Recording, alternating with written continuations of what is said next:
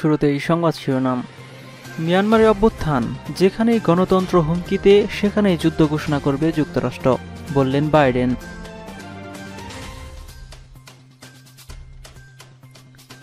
বিশ্বকে তাক লাগিয়ে ইরানের সর্বাধুনিক প্রযুক্তির রকেট উৎক্ষেপণ।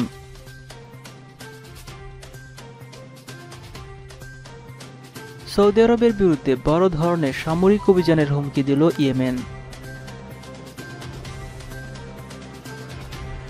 ভারতের টিকার বদলে বারো শিশুকে খাওয়ানো হলো হ্যান্ড স্যানিটাইজার।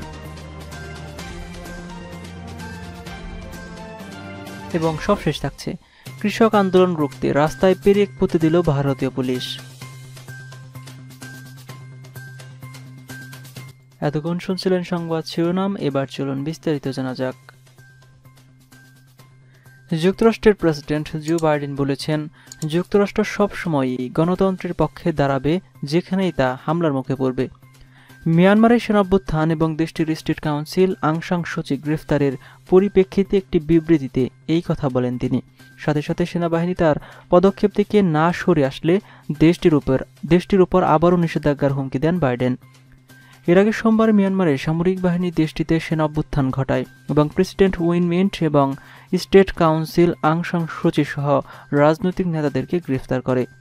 নভেম্বরের নির্বাচনের ফলাফল নিয়ে বেসামরিক প্রশাসনের সাথে সামরিক বাহিনীর কয়েকদিনের দ্বন্দ্বের প্রেক্ষাপটে এই অভ্যুত্থান ঘটে।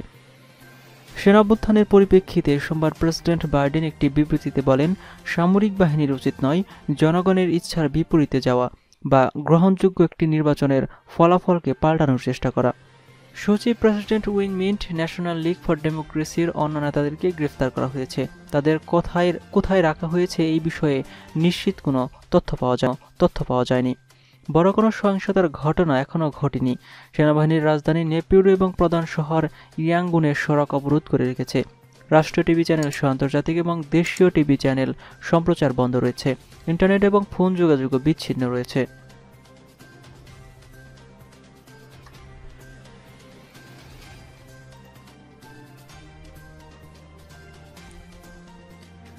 সম্পূর্ণ দেশীয় প্রযুক্তিতে নির্মিত কৃত্রিম উপগ্রহ বহনে সক্ষম একটি রকেট উন্মোচন করেছে ইরানের প্রতিরক্ষা মন্ত্রণালয়।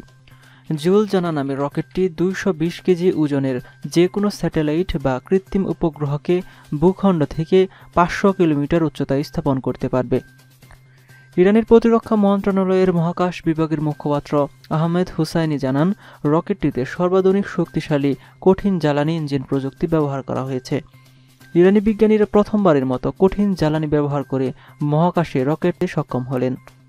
তিনি বলেন, এ যাবৎকালের মধ্যে আবিষ্কৃত সর্বাধিক শক্তিশালী কঠিন জ্বালানি ইঞ্জিন প্রযুক্তি আয়ত্তে আনার পর ইরানি বিশেষজ্ঞরা এই প্রথমবারের মতো কৃত্রিম উপগ্রহ উৎক্ষেপণ, বহন বা রকেটের পরীক্ষা চালালেন। তিনি বলেন, প্রযুক্তিগত দিক দিয়ে তিন ধাপের এই রকেট বিশ্বের যে কোনো আধুনিক রকেটের সঙ্গে প্রতিযোগিতা করতে সক্ষম। ইরান এতদিন তরল জ্বালানি চালিত বেশ কয়েকটি ধরনের রকেট ব্যবহার করে ভূখণ্ডের কক্ষপথে একাধিক কৃত্রিম উপগ্রহ স্থাপন করেছে। ইরানের ইসলামী বিপ্লবী গার্ড বাহিনী বা আইআরজিসি দুই হাজার বিশ সালের এপ্রিল মাসে প্রথমবারের মতো একটি সামরিক স্যাটেলাইট ভূপৃষ্ঠের কক্ষে স্থাপন করে।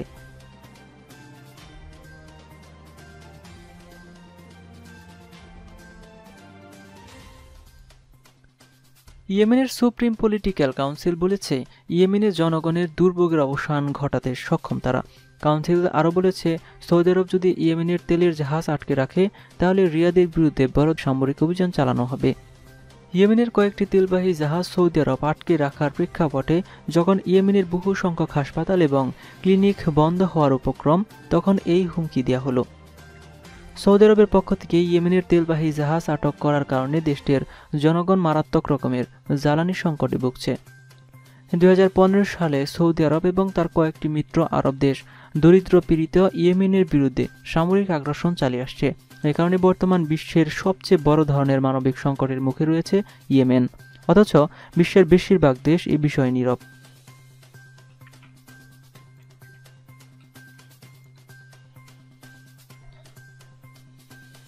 ভারতের পোলিও বোতলে স্যানিটাইজার ভরে তা বারো শিশুকে খাওয়ানো হয়েছে। এই ঘটনায় হাসপাতালে চিকিৎসাধীন তারা, তবে তারা সংকটমুক্ত। সোমবার দেশটির মহারাষ্ট্রের যুবতল জেলায় প্রাথমিক বিদ্যালয়ে পোলিও ক্যাম্পে এই ঘটনা ঘটে। ওই এলাকায় মুম্বাই শহর থেকে শহর থেকে সাতশো কিলোমিটার দূরে। কাজে গাফিলতির জন্য স্বাস্থ্যকেন্দ্রের এক কর্মী, এক চিকিৎসক এবং এক আশাকর্মীকে সাময়িক বরখাস্ত করা হয়েছে। দেশটির গণমাধ্যম জানায়, বারো শিশুকে স্যানিটাইজার খাওয়ানো হলো পোলিও টিকার বদলে। এটি ভুলবশত নাকি চক্রান্ত, তা তদন্ত চলছে। বারো শিশুর শরীরের শারীরিক অবস্থা স্থিতিশীল। এই ঘটনায় তিন স্বাস্থ্যকর্মীকে আটক করা হয়েছে।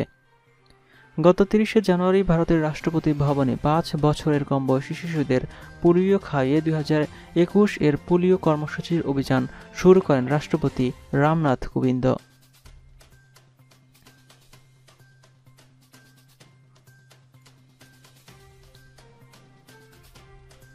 ভারতে চলমান কৃষক আন্দোলন রুখে দিতে দিল্লির পার্শ্ববর্তী সিঙ্গু, টিকরি, গাজীপুর সীমানাকে প্রায় দুর্গে পরিণত করেছে দেশটির পুলিশ।